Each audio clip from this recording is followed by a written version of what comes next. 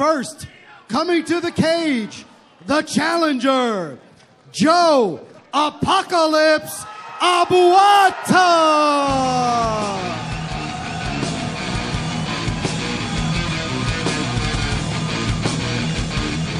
By my hand, I take God's remit. and making his way to the ring with a record of two wins and one loss out of Bridgewater, New Jersey, Wilkie's Warriors, representing the red corner, Joe Abouata.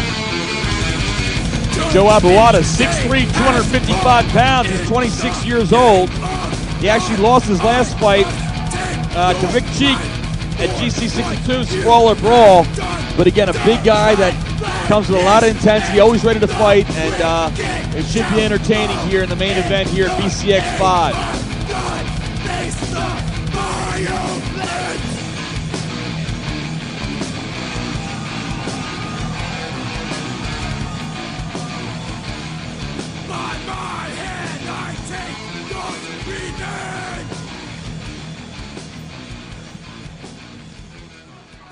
And his opponent coming to the cage, the champion, Carlton, the convincer, Haselrig.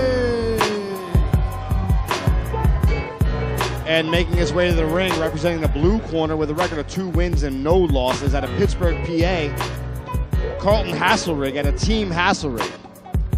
Yep. Six-time All-American wrestler. Yep, yeah, Carlton Haselrig. I mean, a guy that we saw uh, start open up his uh, mixed martial arts uh, career in BCX4 with a TKO victory over Shane Ott.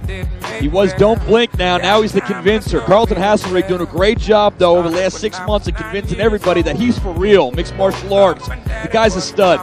Won Pennsylvania wrestling title senior year from school. Did not even have a wrestling program.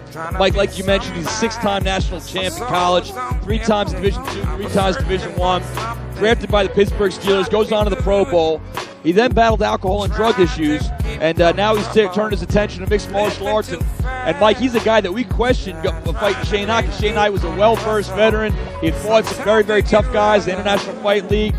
Uh, Carlton Haselrig dispatched him in BCX4. Uh, then he goes on to defeat Carlos Moreno at at Elite XC on the All right. undercard there on May 31st. So he's got a bright, bright future, man. He's beaten Father Time. He's very, very skilled. He's an absolute animal. Introducing And boy, were we first, wrong. the Last challenger, We were wrong about that one, fighting out of the red corner. but I- I'm convinced. This fighter hails from Bridgewater, New Jersey. Fighting out of Wilkie's Warriors with a record of two wins and one loss. Ladies and gentlemen, I give you Joe Apocalypse Abouata.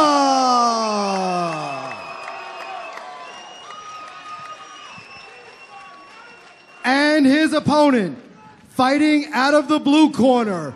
He is a former six-time NCAA wrestling champion and former NFL Pro Bowl football player. This fighter hails from Johnstown, Pennsylvania. Fighting out of Team Haselrig. Ladies and gentlemen, I give you the US KBA and the BCX heavyweight champion Carlton, the convincer Haselrig. So this heavyweight Your bout, referee for this fight is Kevin Mulhall. the main event heavyweight bout, three five-minute rounds, USKBA BCX title. Carlton Haselrig, 2-0, Pittsburgh, PA. Joe Abouata, Bridgewater, 2-1, New Jersey. Don't blink, ladies and gentlemen. Yeah. I'm looking to, for this one to go directly to the ground. Well, you know, obviously Haselrig with his background being such a stud wrestler, we know what he can do there. The thing I was impressed watching from BCX4, the power he has in his hands, man. He not he Shane Ott might still be out of it after after some of the blows that he took. Uh, his hands, he got big, strong, powerful guy. Um, again, he's a stud athlete, 42 years old, um, and he's a guy that's just getting started with mixed martial arts, and he's got a he's got a huge career ahead of him if he can continue to hold off Father Time. And if he wants to take you down, Yeah, you- Donnie, you go down. You're going Like down. yeah. And there you go. And this is exactly what he did to um, Shane Ott Yep. in BCX4. Put him on the ground, put him up against the cage, and the next thing you knew, He bangs you out. bit.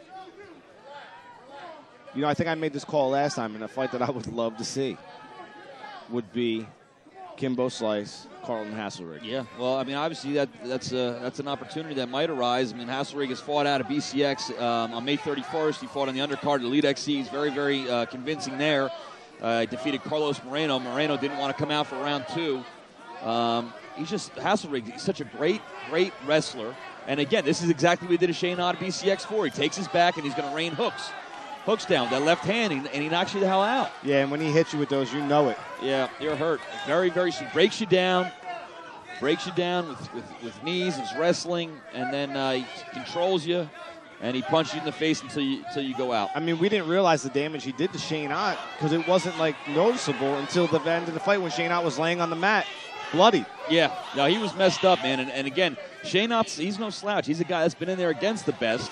Um, and and Haselrig made him made him look uh, made him look kind of amateurish in that, in that fight with the way that he took care of business. You see Abouata going for a uh, guillotine choke there, standing guillotine. Again, you know, you're not going to get Haselrig that way, I don't think. And notice how Haselrig just didn't let go of the arm; he just controlled. Yeah, Arm- he's well now he's in it. He's going to pop his head out. Ab- again, Abawad, a young guy. He's he's always willing to fight. He's a big, big man, 6'3", 255 pounds. Okay, Haselrig on the single there. He's got to be careful. He doesn't get caught in a triangle, though. He leaves his head out there, and Abouata went right for it. Looking for an armbar, possibly a triangle, some type of submission attempt from his back. It's going to be really difficult to submit Haselrig. Yeah, he's, so strong. He's very, very strong. He's got a big neck. He's big through his shoulders. But again, you don't. You never want to be uh, too complacent in what you're doing, too careless. To be honest with you, I'm surprised that Haselrig hasn't been a little bit more active with these uh, positions that he's had. You know, he's maybe starting to get into uh, the groove now, being in the cage. It's his third professional fight. Maybe he's a little bit more comfortable and he's willing to uh, to not go for things and leave himself out there and be a little bit more methodical in his approach. But his wrestling is second to none, and he's got big time power. So He drops a nice left hand. he's going for the armbar. And a big little slam. rampage action. The answer to it. Yeah, I don't think he's going to be able to submit him like that. Well, He's he, just went, too he went for it. He went for it. And what it, Haselrig's answer was to pick him up and slam him on his head, and it broke the hold. And now we could potentially uh, see a big slam from Haselrig. And again, not that Haselrig landed any crazy blows, but there's blood on the forehead of Joe Buada. Yeah, very, very strong.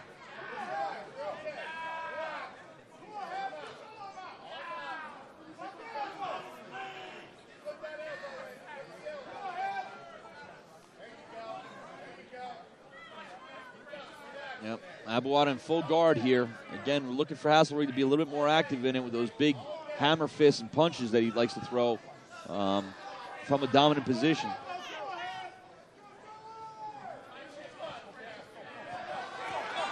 Oh, and he looks like he's going to get. He might get this choke in. He's Yeah. got the arm through. Ha- let's see how Haselrig defends this. He's going to have to push push that elbow up and over his head. Yeah, I, I'll tell you what, I think he might have it too. Nope. Uh, Haselrig, what he's doing, he's trying to clear his airway by pulling down on his own arm. He might be out. No, No. he's got. He's got to go. He's got to push Buada's right shoulder over his head and get his head out. And there you Yeah, go. You're right, he got out of it. I'll tell you what, impressed by Abouata's submission attempts, though, from his back. We saw that choke there. We saw an armbar earlier. Again, Haselrig's got a ton, a ton of ability, but he's just got to be careful because he is basically a newbie to the sport. Yep. Um, and sometimes when guys, you know, they haven't spent that much time training, they get caught in things they shouldn't get caught in. Even a guy as talented naturally as Carlton Haselrig. Two prior big shows he's in. Maybe he gets overconfident. Could be. You know, I think here's a guy, though, that's going to take full advantage of the opportunity that's presented to him. He's been at the top of the heap in the NFL, National Football League, uh, amateur wrestling, uh, and he's battled back from drug and alcohol addiction. So he's probably wants to be uh, real sure that this time he does everything right to make sure that he stays on top of his game and takes advantage of his athletic skills.